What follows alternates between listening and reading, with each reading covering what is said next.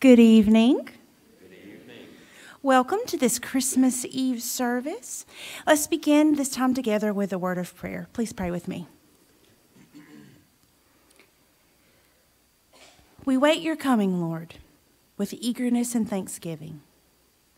Shine your true light in the corners of our hearts and in the vast wastelands of our society, that we might see more clearly the glory of the creation you have come to redeem.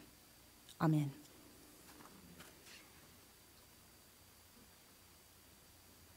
Would you stand? Hymn 145. Oh, come, all ye faithful. Oh, come and let us adore him. I want you to sing it out tonight, okay? Here we go. Oh, come, all ye faithful, joyful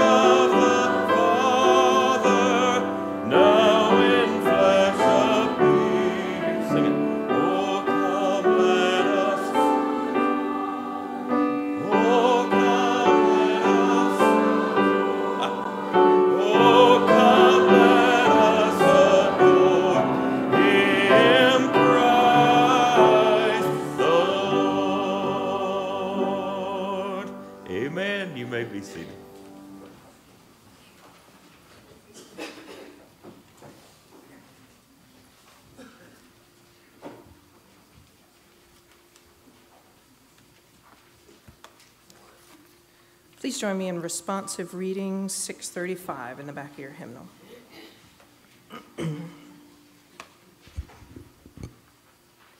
In the beginning was the Word, and the Word was with God, and the Word was God. He was in the beginning with God. All things were made through him, and without him was not anything made that was made. In him was life, and the life was the light of men. The light shines in the darkness, and the darkness has not overcome it. There was a man sent from God, whose name was John. He came for testimony, to bear witness to the light, that all might believe through him. He was not the light, but came to bear witness to the light. The true light that enlightens every man was coming into the world. He was within the world, and the world was made through him, yet the world knew him not. He came to his own home, and his own people received him not. But to all who received him, who believed in his name, he gave power to become children of God. Who were born not of blood, nor of the will of the flesh, nor of the will of man, but of God. And the Word became flesh and dwelt among us, full of grace and truth. We have beheld his glory, glory as of the only Son from God.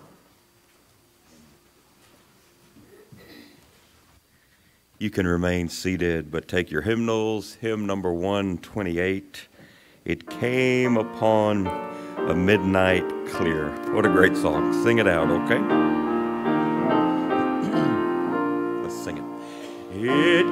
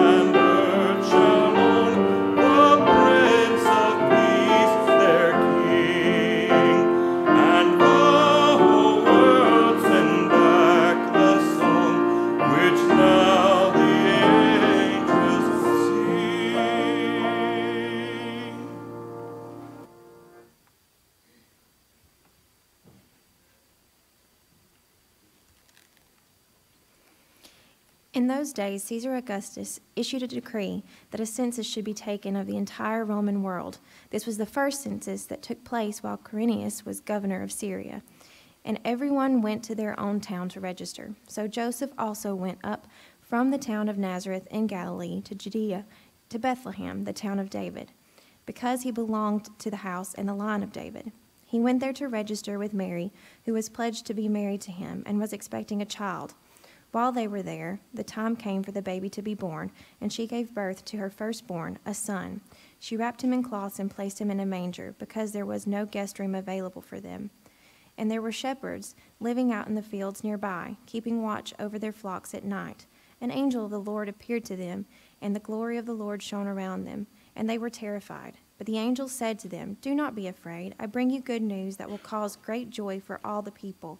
Today in the town of David, a Savior has been born to you. He is the Messiah, the Lord. This will be a sign to you. You will find a baby wrapped in cloths and lying in a manger. Suddenly, a great company of the heavenly host appeared with the angel, praising God and saying, Glory to God in the highest heaven, and on earth peace to those whom his favor rests. When the angels had left them and gone into heaven, the shepherds said to one another, Let's go to Bethlehem and see this thing that has happened, which the Lord has told us about. So they hurried off and found Mary and Joseph and the baby, who was lying in the manger. When they had seen him, they spread the word concerning what had been told them about this child, and all who heard it were amazed at what the shepherds said to them. But Mary treasured up all these things and pondered them in her heart. The shepherds returned, glorifying and praising God for all the things they had heard and seen, which were just as they had been told.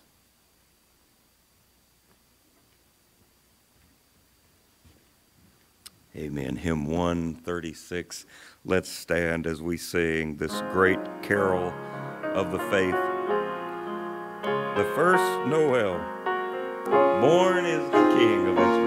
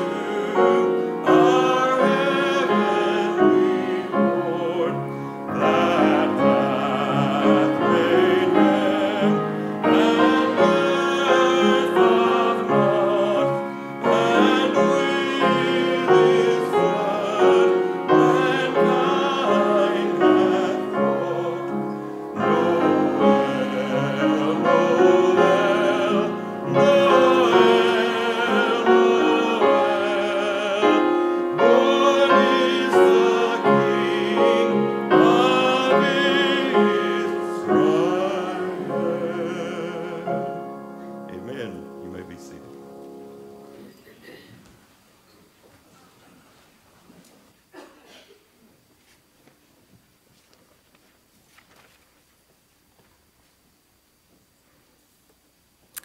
Well, a great deal of preparation ensues as we draw closer to Christmas.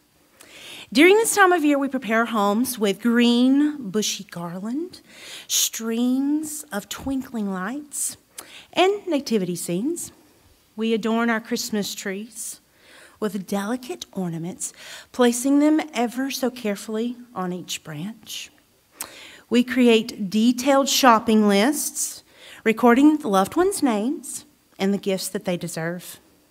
And then each gift is intricately wrapped or placed in one of those attractive Christmas bags with tissue paper topped. And then we concoct these lavish meals for gatherings with our family and friends. So, sufficient time and effort is given to preparing our surroundings. But what about our own preparation? Very little focus is given in preparing our hearts and our minds for the coming Christ child. So, on this last night of Advent, let us concentrate on our hearts and prepare ourselves for Christmas. So, at this time, you are going to receive a small round piece of cardboard and a string. So, gentlemen, would you help to pass those out, please?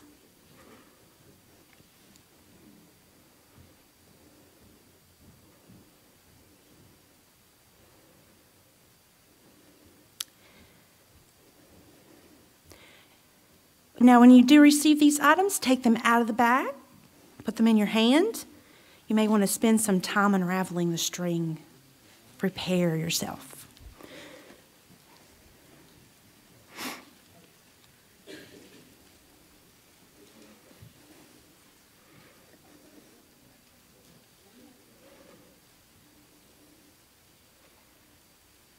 It's a long piece of string for a reason.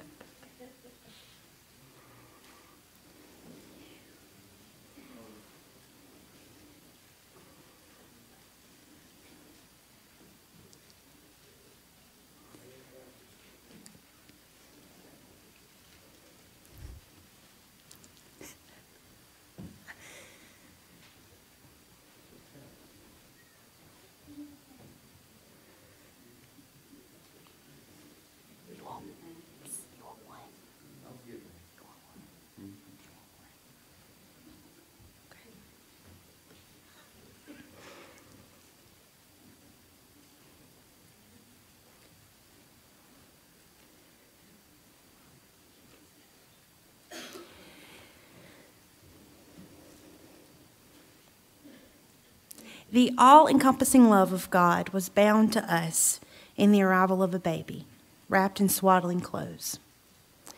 Now begin binding your ornament by winding the string in and around the slits along the edge.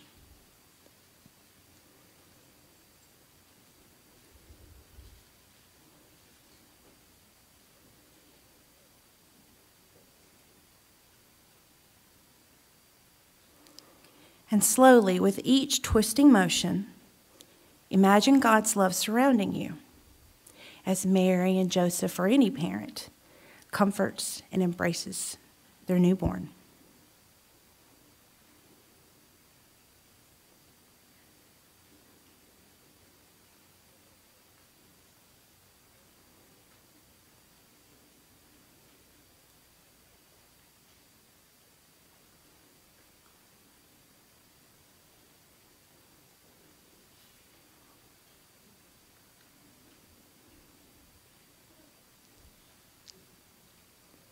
Such a neat sound.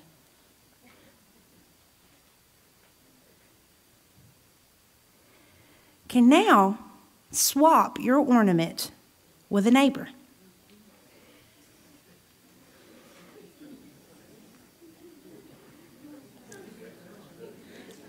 Come on, Dad.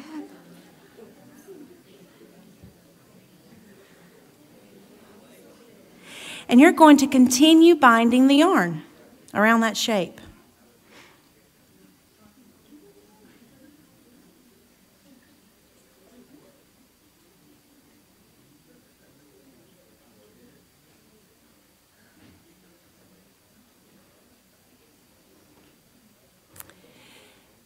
Now it is with each other that Christ binds us.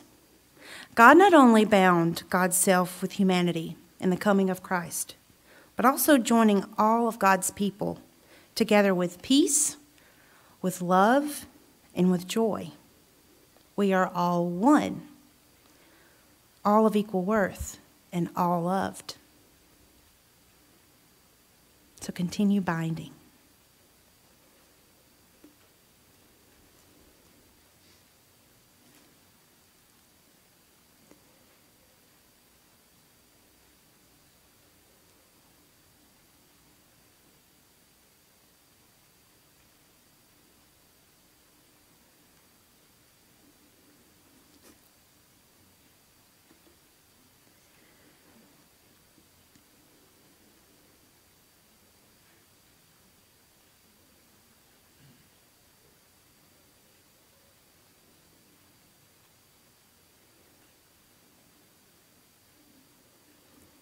If you're able to come to the end of the string, you can return the ornament to your neighbor.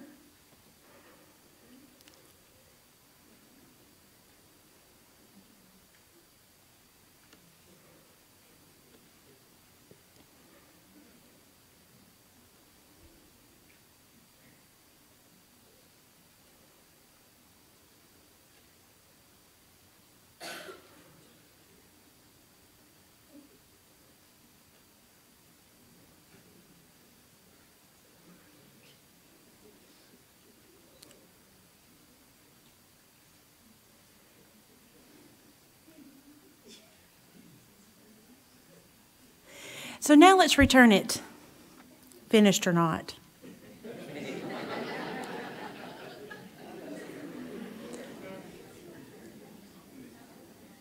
Sorry, we have to have a time limit. Now, I want you to carefully examine the design that is created. Even turn the ornament over and look at the back. Study it.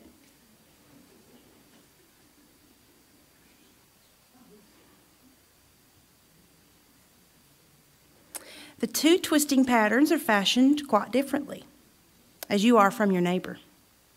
Yet each of our lives are interwoven in Christ. Therefore, we must work together. We must look to each other for compassion and make sacrifices for one another, despite our imperfections. Because this has already been done for us by the binding love of God on that first Christmas. Amen.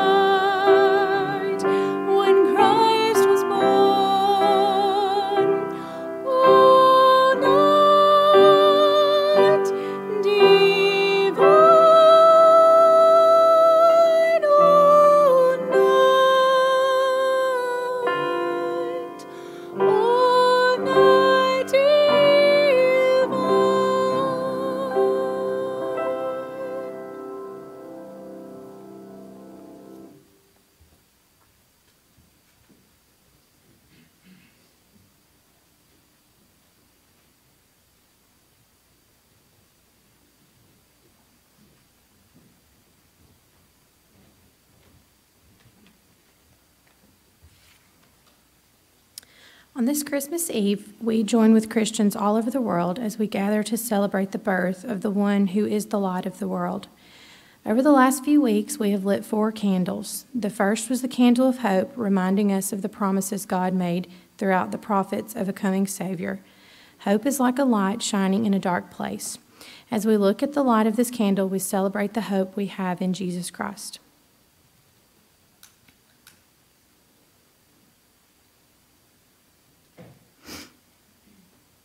The second was the candle of peace, reminding all Christians that it is only by walking with God that true peace can be found. Peace is like a light shining in a dark place. As we look at this candle, we celebrate the peace we find in Jesus.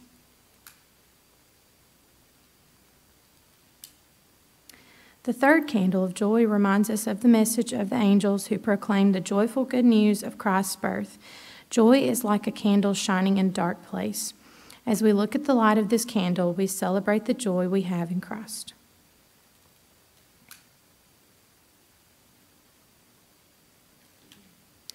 The fourth candle is the candle of love to remind us that Jesus is God's gift of love to us and that in him the light of love triumphs over any darkness in our lives. Love is like a candle shining in a dark place. As we look at the light of this candle, we celebrate the love we have in Christ.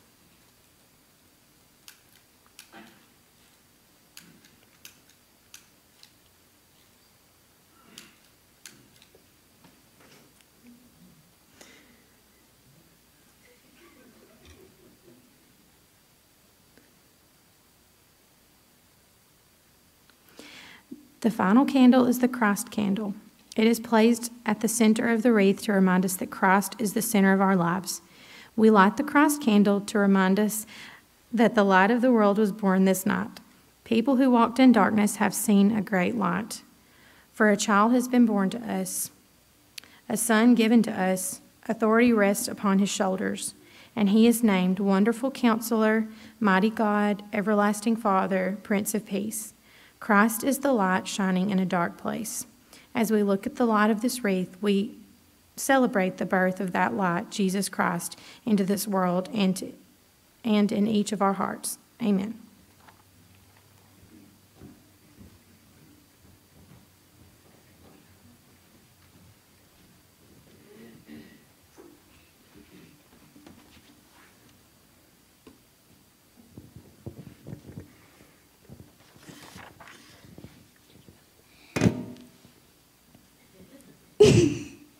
The table of bread is now made ready. It is the table of com- company with Jesus and all who love him. It is the table of sharing with, poor, with the poor of the world, with whom Jesus identified himself. It is the table of communion with the earth in which Christ became incarnate. So come to this table you who have much faith, and you who would like to have more, you who have been here often, and you who have been for a long time, you who have tried to follow Jesus, and you who have failed, come. It is Christ who invites us to meet him here.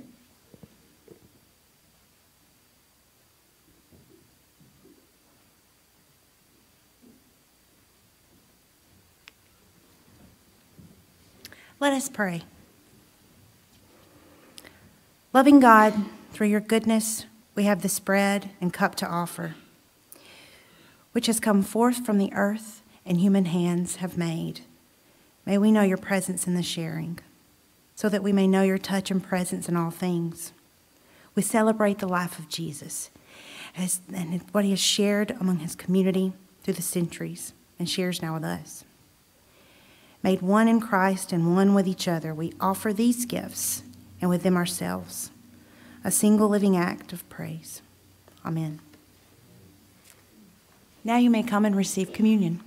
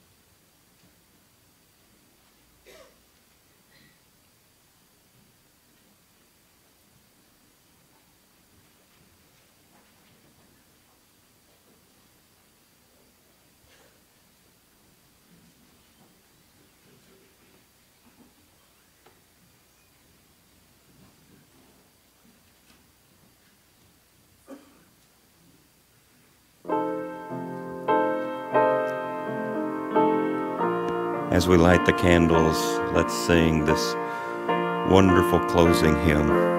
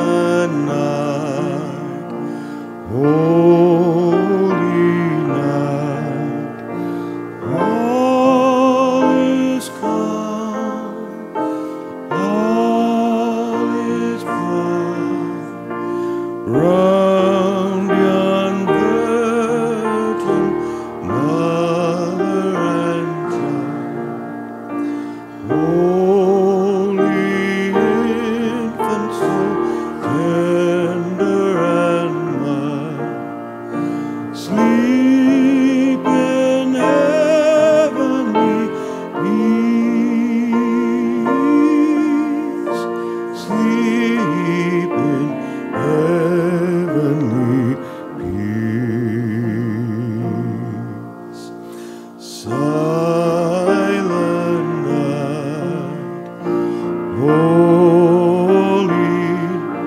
Shepherds quake. Shepherds